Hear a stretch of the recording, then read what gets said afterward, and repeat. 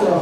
Muzikinis teatras užsakė Jonui Jungūnui pagal Klaipėdos krašto sakmes ir padavimus sukurti kūrinį, kuris būtų artimas savo dvasia Klaipėdai, o Klaipėdą mes visi žinome kaip džiazo, puikų džiazo miestą.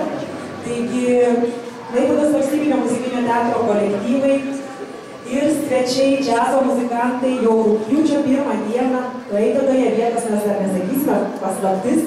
Vienoje iš gražiausių vietų Klaipėdoje pristatysime šį naują kūrinį parašytą specialiai Klaipėdai, specialiai teatro 30-mečiui, specialiai Klaipėdos kultūros sostinės paminėjimui.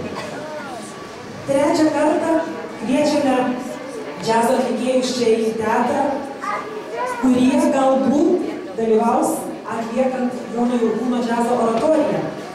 E, Jonas Jurkūnas, kompozitorius Jonas Jurkūnas pats atsirenka muzikantus, kuriuos norėtų matyti scenoje, kurie improvizuoja jo naujojo kūrinio temomis.